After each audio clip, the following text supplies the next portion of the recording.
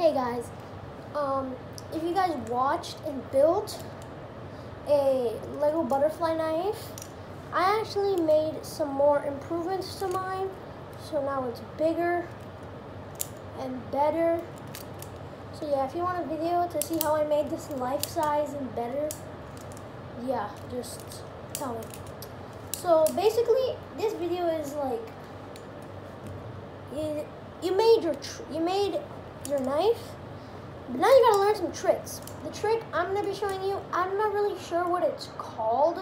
I just like to call it a quick flipperoonie. It's not this, this is just kind of what you do the second you get it. But basically, this is how the trick looks. Basically, what you're doing is you're dropping it like this. You're yeeting it back.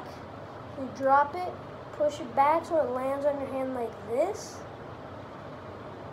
And then when you're putting it down, you want to flip it, bring it back, and catch. So like like this. It might look very complex. I thought it was very complex, but very easy. So again, you just drop it, bring it back, flip it, bring it back. Here's it in slow motion.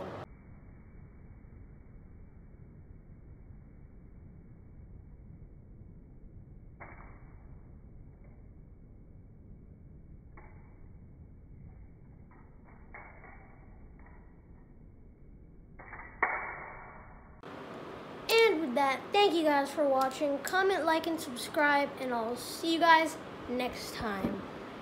Peace out.